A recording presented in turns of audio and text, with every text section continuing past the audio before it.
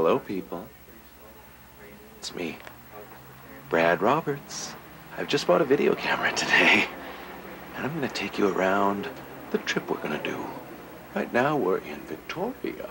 Yes, Victoria. Victoria, BC. You can hear below us the sound of a hippie. Yes? Well, he's not really a hippie, but he thinks he's a hippie. He'd like to be a hippie because he's from the West Coast. Yes, he's certainly going at it. Oh, boy. Ladies and gentlemen, Mr. Murray Pulver. Oh, and he brought a guitar. Look, we're gonna get some work done. Oh, and, and here's me in the mirror. woo! Woo! Yeah. That's pretty neat. Yeah. Yeah. In the mirror. Yeah. Superman never made any money saving the world from Solomon Grundy. Sometimes I despair the world will never see another man like him. Hey, Bob. Hello, people. You can see I'm making good use of a mirror again. I'm in the dressing room now. And the dressing room is where I warm up. Now, there's two ways of warming up. The first way is manually. It involves singing scales, something like this.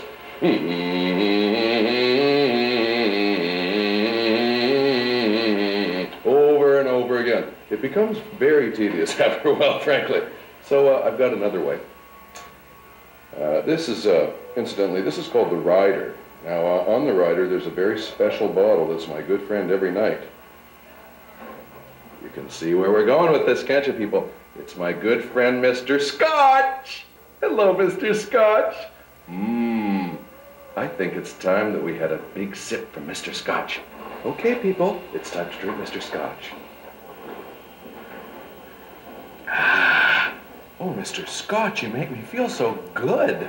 Now, isn't that much better than a lot of fussing about with scales and so forth? All right, people, to give you an idea of the kind of high-quality workmanship you can expect in the average dressing room, I've decided to uh, give you a little tour of this one.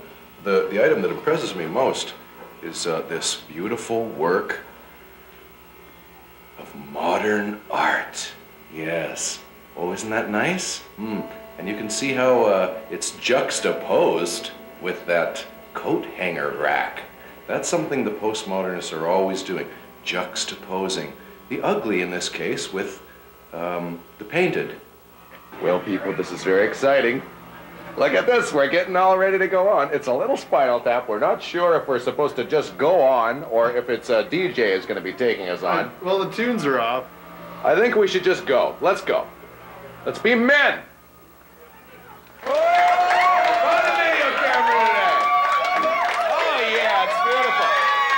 It's even a night shot. Means uh, that in fact it's the same lens as was used on uh, the CNN things where you watch the bombs come down in Saudi Arabia. Yeah. Isn't that a nice warm feeling when you pick up your Canon cam and that's what's going on? I think it is. I'm gonna switch to night shot. Oh yeah! Oh baby, I didn't know you had all that going on. Woo! Mama! Would you look at this, Murray? You can see me from the bottom up, so it's all double chin. I look like the fat old fuck that I am.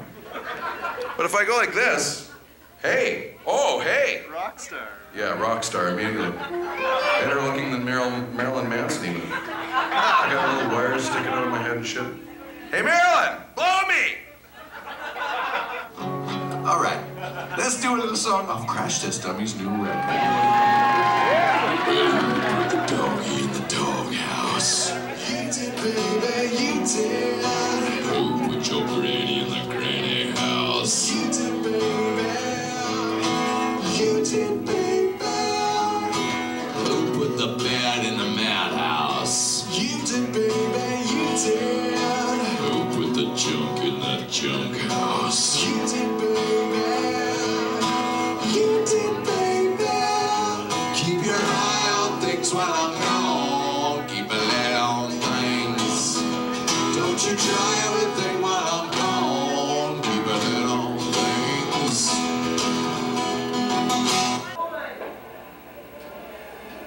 played Aberdeen and the bouncers were just crap. the bounces were crap. Yeah, they wouldn't, they wouldn't let you- the audience stand up, and you got so pissed off. Yes, that's right. See? See? There you go. See? We love you guys. Hello, how are you doing? Right, thank you very much. Thanks, good night. This is like, yeah, finger food? Okay, you remember me? No, you don't. Oh, yeah. She's the one who was talking over you. Yeah, you're the, I'm the one that was pissing you off. Front left, that's okay. People But who it piss didn't me mean off anything actually bad, have- that's right. People who, who piss me off help, help make the show better. Piss them off, then, You don't okay. mind people coming back? Yeah, okay. Um. Keep them away. Keep them away, keep them away. They're dropped in gorgeous. Let them back. Hey, guys, don't. Good show, guys.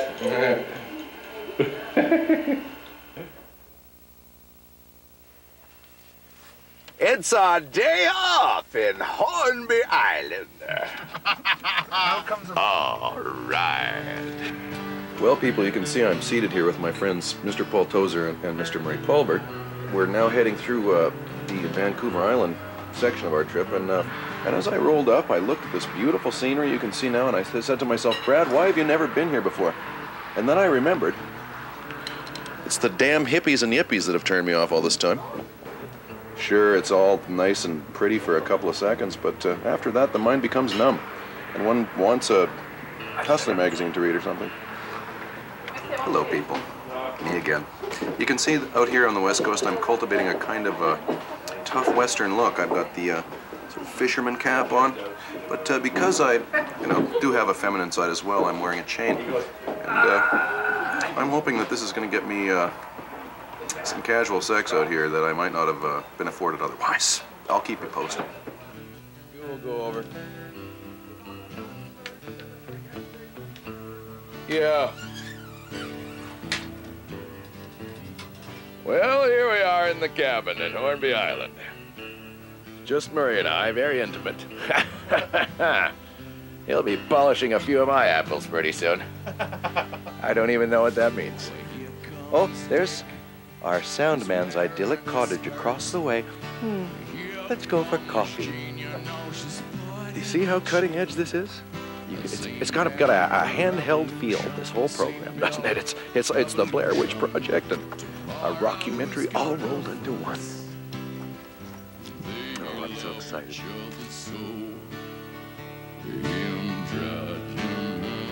Well, now, people, I'm standing here in another of the facilities at the lodge we're staying at. This is uh, this is the hot tub, and uh, again, uh, the West Coast is is typified uh, quite often by uh, nudism and uh, people frolicking about in their birthday suits. You can imagine the uh, the sickos that congregate here to frolic about with their nudist friends and look out at the ocean. Well, people, being as we're here on the West Coast, it should come as no surprise that we should find in our environment some fine native art. And in fact, just here on a cabin, here we have a picture of what appears to be a native person's idea of how a white face looks.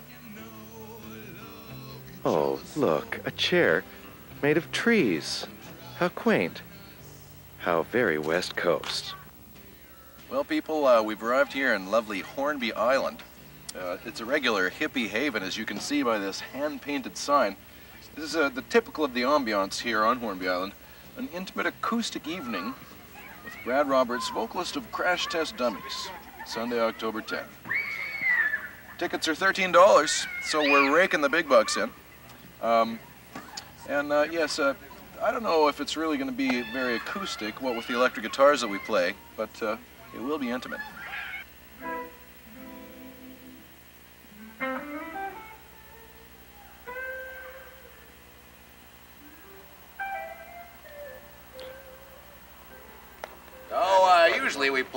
Venues which uh, are quite a bit less fancy pants than this. Uh, normally we're in some kind of uh, sweaty, greasy bar, but today we're in Hornby Island where they don't have that kind of thing. They have uh, sort of funny wood buildings that look like they've been designed uh, by and for leprechauns. You can see this kind of gnome-like vibe. Everyone knows that there are many gnomes on Hornby Island. Brad Roberts, crash test dude. Let's move in. Oh, yeah, there I am. There I am. Oh, and I've got a scotch in my hand. How, how unusual. Put that there. You know, people, I'm often asked um, in interviews, Brad, what kind of beer do you drink? I have the same answer every time, pretty much, which is that uh, I drink the extra old stock. The reason being is that calorie for calorie, this puppy is getting you 1% more drunk every time you pick up the can. Look at this. This is just the extra kick you need. This is why it's called high test. This is a slang expression, I believe, originating in Manitoba. High test. All of a couple of high tests, eh? Yeah. Uh, I like it because it's got more booze in it, eh? Yeah. I'm finished with my old stock now, and I'm tossing it into the bushes. Oh. That's a crime in the world of hippies on the West Coast. Ugh. But I'm not that kind of man. I will, in fact, make my litter less conspicuous. Crunching it down. There, that's my contribution to the Hornby Island community. Mm, well, it looks much better now, doesn't it? I've been a bad boy again. A very bad, bad boy. And you know what happens to bad boy when he's bad, don't you? He gets a spanking. Oh, baby, baby, how was I supposed to know that something wasn't right here? Oh, pretty baby, I shouldn't have let you go. And now you're right aside, yeah. Show me how you want it to be.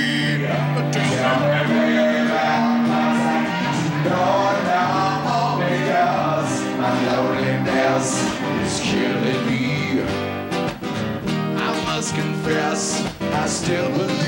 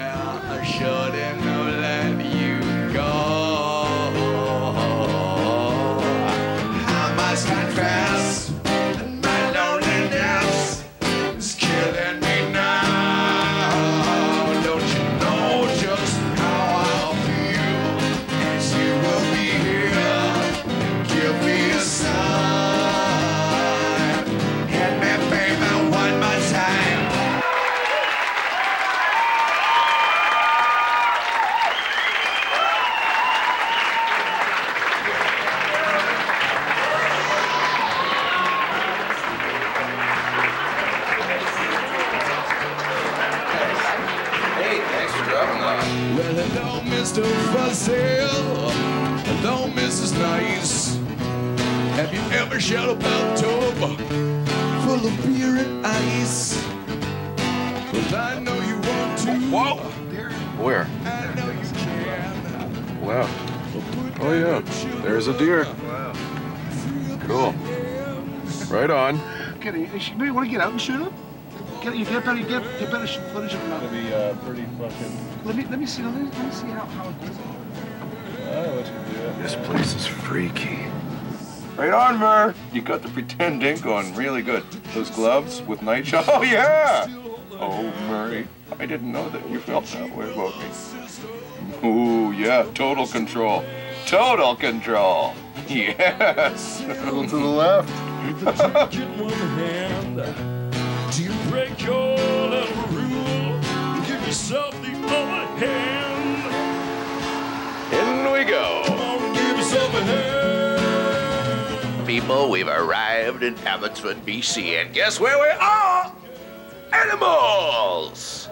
Yeah, we- we're, we're here in Abbotsford's party headquarters, and uh, you, you, you've got to be careful because, uh, as you can see here, you want to take a look at that sign? Caution, live animals playing. I guess that's us. That's us Woo! Animals! Here in Animals, there's pictures everywhere on the walls of, you guessed it, wild animals. Anyone caught not partying will be fed to the animals here at Animals Nightclub. Oh, look, people, they really go animal here at Animals by drinking shooters out of these test tubes. Hmm, there's plenty of test tubes for everybody. Drink up at Animals! Hey guys, mind if I don't help?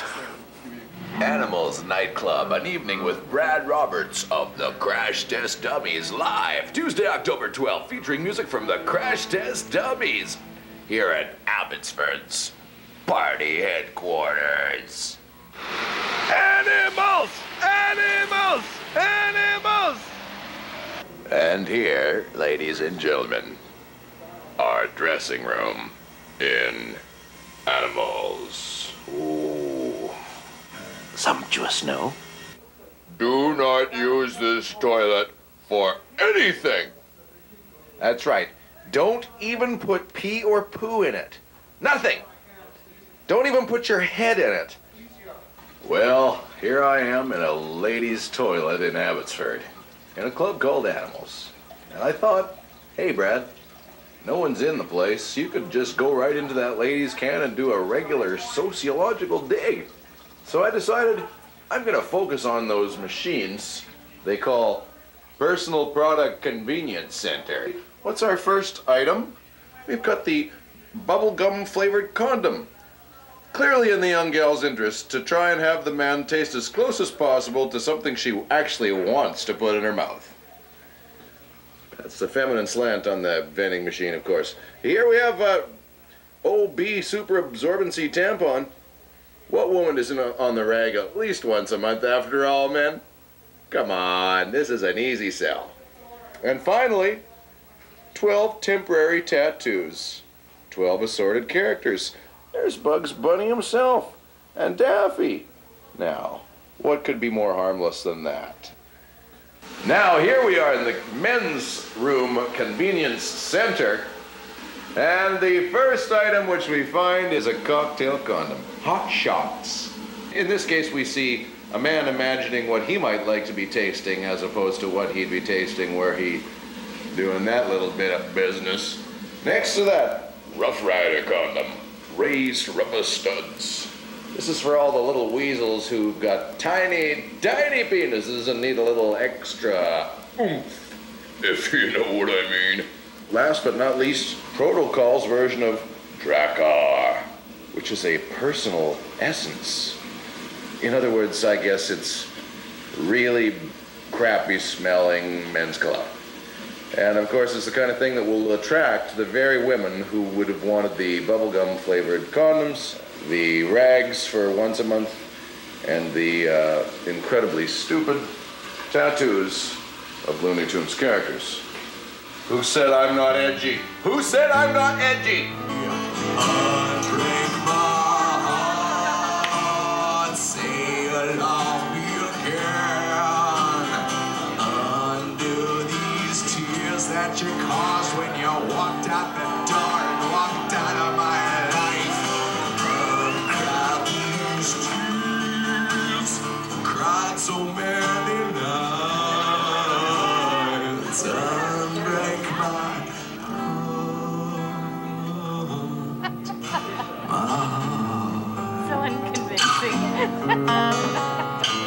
Well, people, I'm afraid our experience at Animals was a little less than we'd hoped it would be.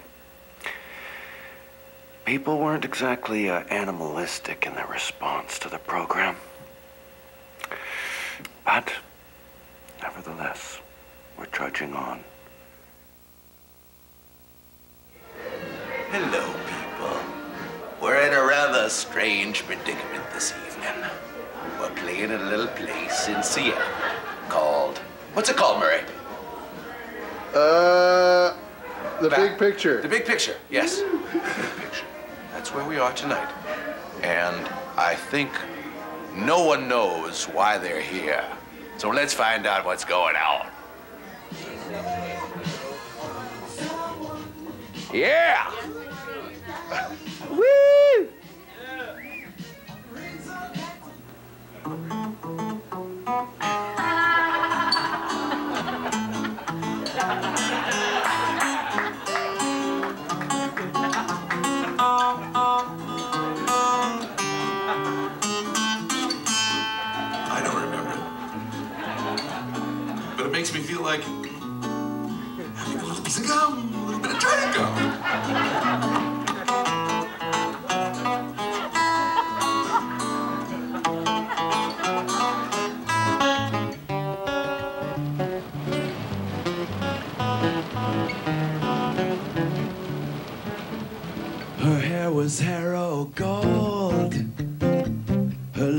Sweet surprise. Her hands were never cold.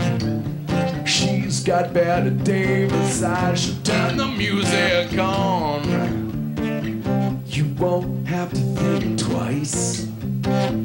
She's pure as New York snow. She's got Bette Davis eyes.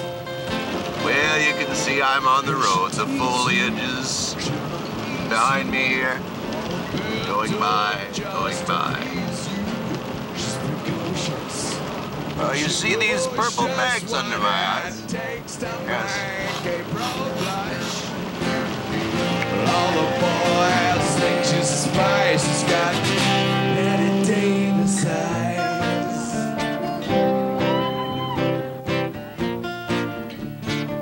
She'll let you take her home. All right. We're going to Windsor, Ontario this evening, people, and from what I'm told, the show is sold out. Yes, that's right. Our first sold out show. Oh my God. And I've been off for two days in a row. I think it's probably time to visit Mr. Scotch once again. Yeah, right up ahead there, we can see Detroit off in the distance. Detroit Rock City. Yeah, for some reason, I seem to be talking like Wolfgang Jack today, and I can't stop myself. I can't stop myself. Detroit!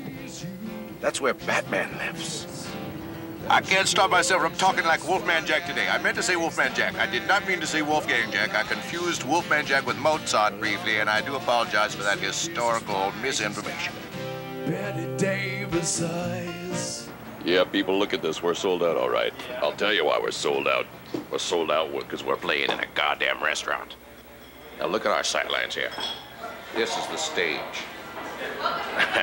this is the weirdest, stupidest gig I've ever done. That's where it's all happening tonight. Well, it looks like I might be in a bit of a pickle, people. At a place that's never had a show before, I'm thinking. This place is so weirdly set up that I can't imagine what's going to happen. But I'm gonna make it happen. Oh, yeah. Something's gonna happen, all right. Oh, yeah. Oh, yeah. Let's see if we can't find Mr. Scotch. Oh, there he is. Hey, buddy. You and I are gonna have a little visit tonight. See, this is the Sea of Baby Tune I'm in, people. On my tour, constantly being interviewed by the likes of this beautiful young lady here. Isn't that amazing? Yeah. Rock star life in progress. So,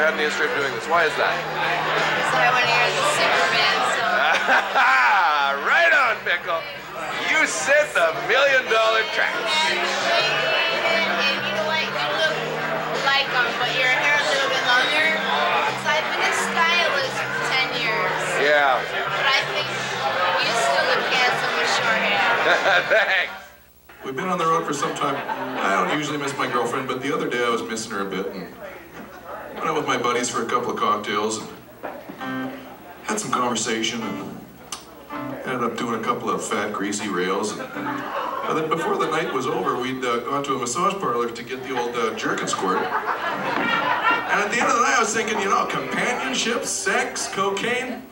Calling that girl right now and I'm busting up with her ass. I really feel like I, I, exposed myself. I hadn't planned on reading. You put me up to it, though. Cover price? No one paid. Fifteen fucking bucks, buddy! I'm blowing you after the show, man.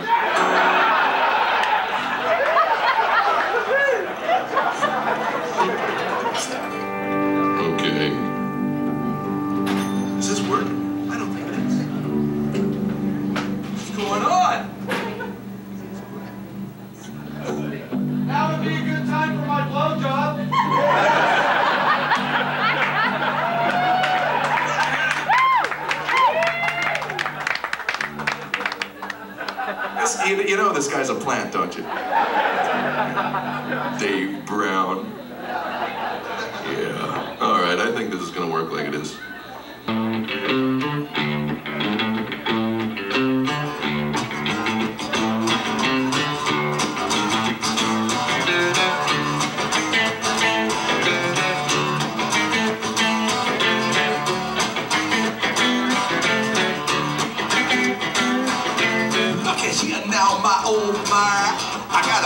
Stuck in my eye.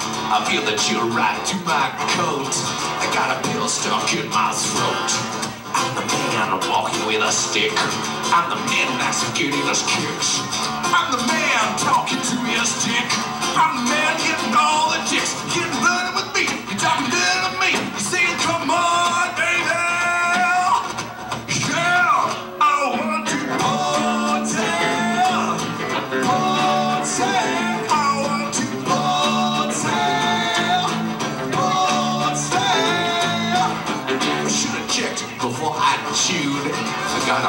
stuck in my food. I'm looking funny and it's not by chance. I got some shit stuck in my pants.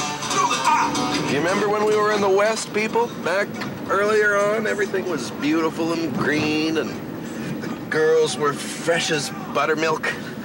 Now here we are in Toronto, and it looks like a gray hellhole. A kind of uh, post-Cold War. Mm, yeah, I'm running out of adjectives.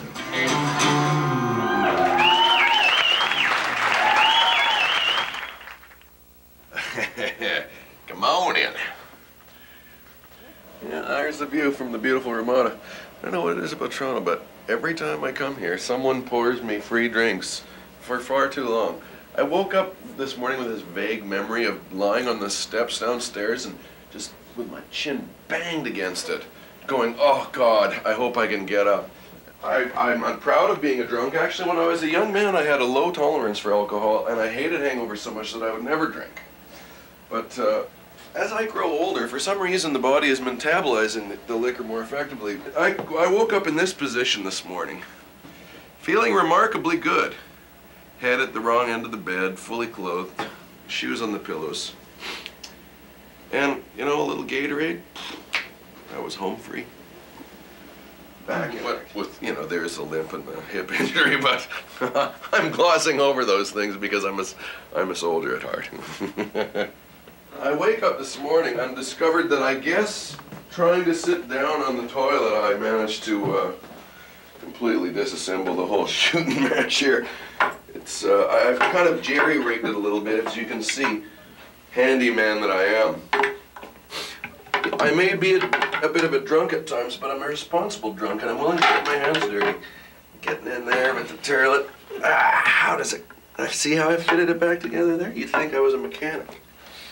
Oh, even this thing has its own little deal. But it makes it that much harder. Every time you try to... We'll take care of that later. Soldier on, lad. Soldier on. Got this a copy of this recently, the celebrity cookbook done by TV Guide. Somewhere we have a recipe in it. I never did find it actually, come to think of it. But people like well, I'm sharing the, the likes of Kathie Lee Gifford, Shari Lewis, Deanie Petty's in here, Jenny Jones, R- R- Geraldo Rivera, Lindsay Wagner. Oh, look at Lindsay. She's still pretty even today. Hmm. Oh, hey, Cheech Marin's got one. I wonder if it's for uh, some kind of pot stew. I can only find me in here. Oh, there's Mike Myers. Here we are. I found us. Crash Test Dummies Ellen Reid plays it smart about her food, grilled swordfish. After appearing on every TV talk show under the sun, Winnipeg's Crash Test Dummies have a pretty clear fix as to who puts on the best pre-show spread. Oh, who is it? Oh, Arsen- Arsenio had the best spread. We did Letterman, Conan, Jay Leno. Huh. Look at this. Ellen quoted, "Every one of us is very conscious of eating, of healthy eating these days. No eating big bags of M&Ms every night, like anyone ever ate any big bags of M&Ms at night, except Ellen. And I, for one, have never stopped eating unhealthy food. And I'm hoping we can go to the Patrician Grill or the Senator or something for one of those hangover cure sandwiches, the grilled cheese with bacon. Oh.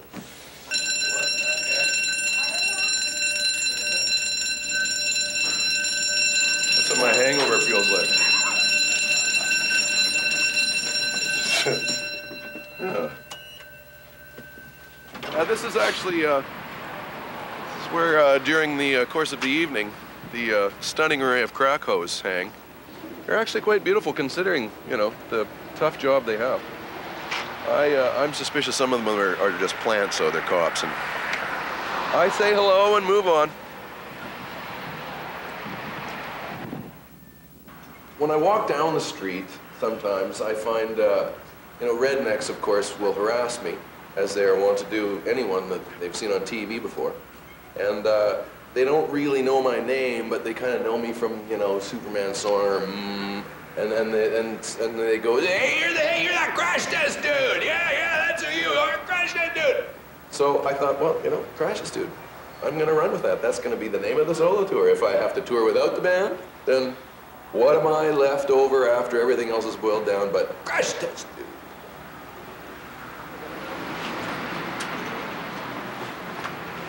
One of the only ways to get rid of a hangover besides drinking is eating pork products mixed with dairy products on a greasy piece of bread.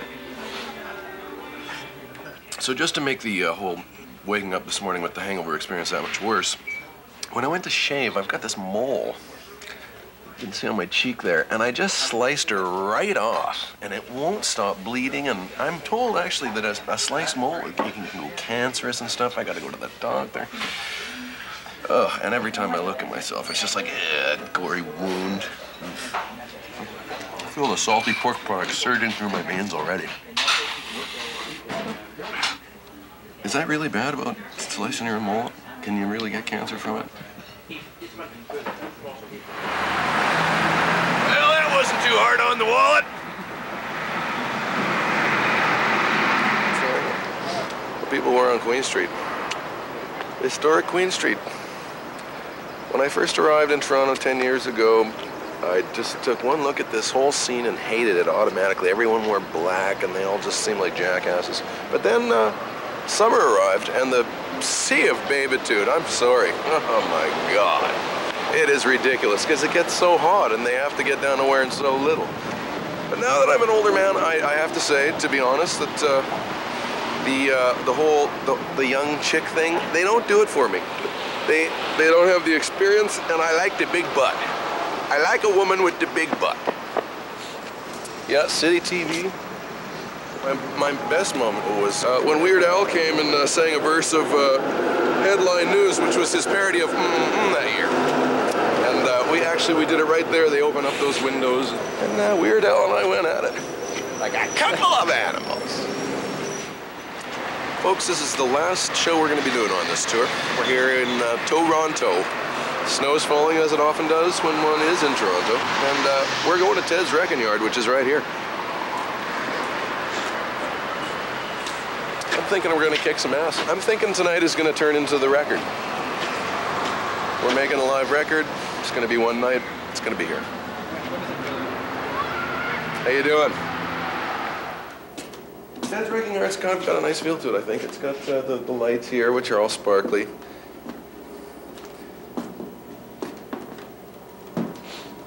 I'll be up here tonight, of course. The Place will be packed. Packed with sweating bodies, all eagerly anticipating my performance.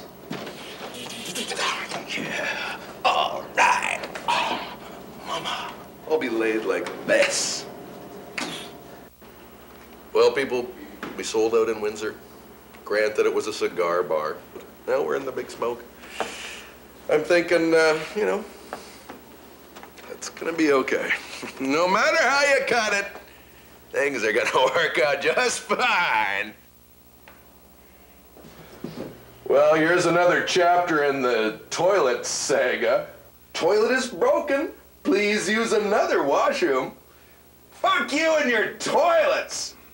The toilets never work. Never. The acid test. We are, after all, always in search of our old friend Mr. Scotch, and it looks like we've got a couple of fine candidates. Laphroaig. That's a 10-year-old.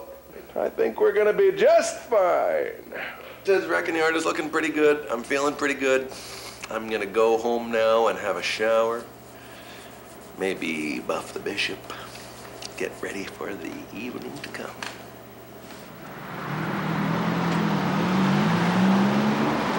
Man, you just missed one mama walk by. Oh, hot tamale. See her from behind now, but the front view is unbelievable. I got a soft spot for that uh, Eastern European dark look, you know what I'm saying? Never been much of a blonde man. But really, it depends on the person. You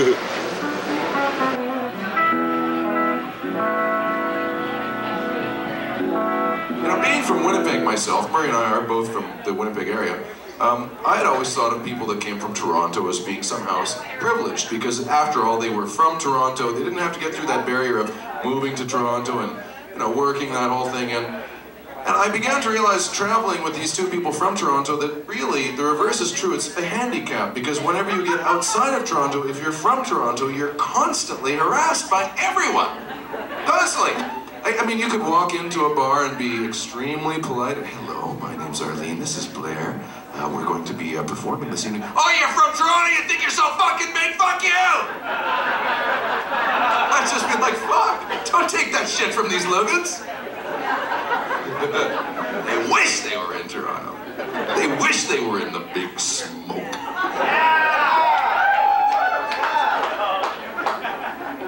Does it seem like I'm pandering? It's funny to be playing in a venue where it's, uh, you know, ever so slightly sophisticated because, uh, uh, you know, the kind of thing, it, it, and it is true, as soon as you do get outside the 416 thing, it doesn't matter how big the town is. As a matter of fact, we were recently in, uh, what the hell was it, Duncan? And uh, we pulled up and, you know, Murray and I were dressed as we are now, which is not overly effeminate in my view. I mean, we look like guys. But uh, the, uh, the the clients at the, the pub where we were pulling up to play were like, looks like there's a fag convention in town. We narrowly avoided a skirmish with them and proceeded with sound check. Later, we put the fucking boots to them, I'll tell you that for five cents. All right. Anyways, uh, tonight we're going to be doing a variety of cover songs as well, some of song, the songs that I wrote with uh, Crash Test Dummies years ago. One, two, three, and away we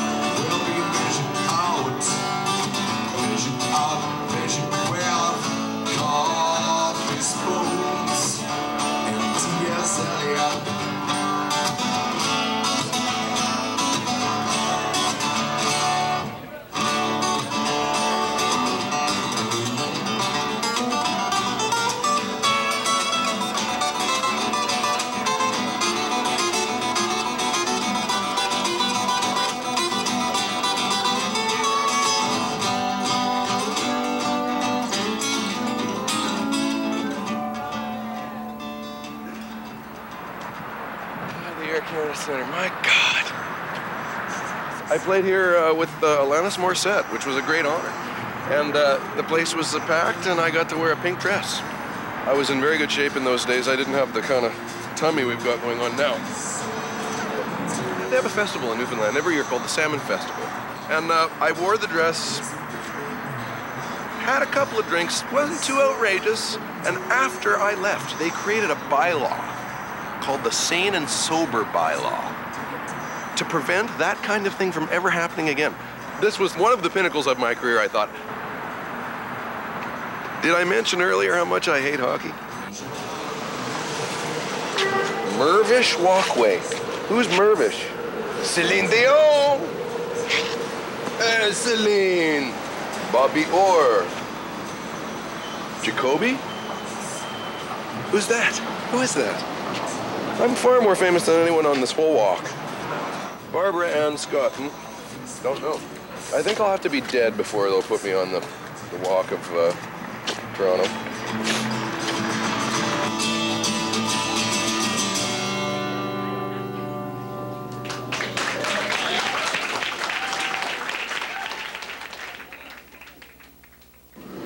I really enjoyed playing Ted's. As a matter of fact, I find that uh, when you perform in Toronto, because it is a bigger city, and people have sort of seen everything, the crowds are a lot harder, you know, like they're a lot harder to please, and they don't tend to be very, uh, you know, rowdy or responsive. But that makes me perform better. I actually prefer a cold crowd because it, it forces me to become more outrageous and think of more stuff. And I have some of my best shows in the most hostile conditions.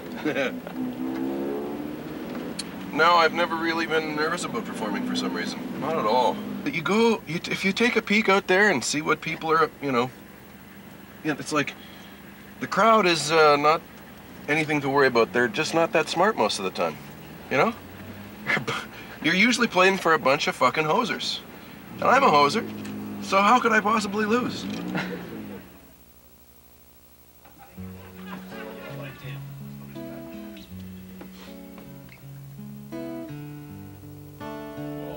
These are the uh, the lists for the songs and the rap, and we're converging it all together, editing the record together. You can see uh, the uh, raps are called things like Big Dick, Circumcision Poems, or Courtney Fart Joke, Crash Test Drunkard. Just more deep insights behind the scenes. Well, people, that pretty much sums up Brad Roberts' uh, trip around Canada.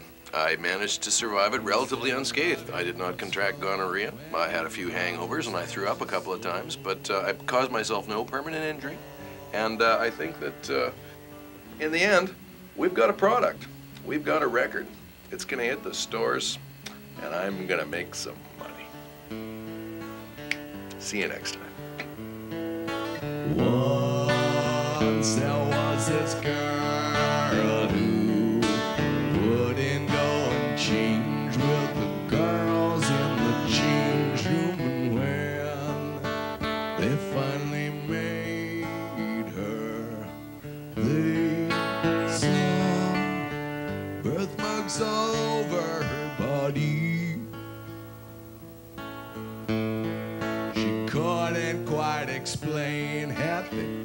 always just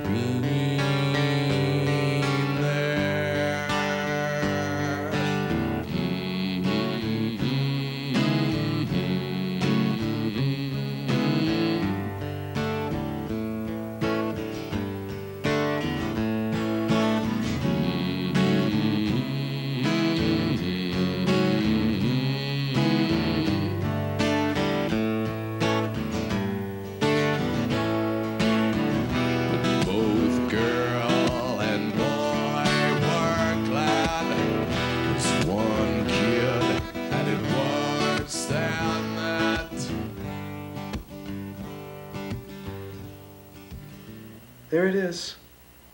This is what happens after a show. You might think that I'd be getting laid or that someone would be doing something incredibly interesting, something fantastic, something rock and roll, but no! What have we got? Bottled water. But at the end of the day, we can always count on our old friend, Mr. Scotch. La, la.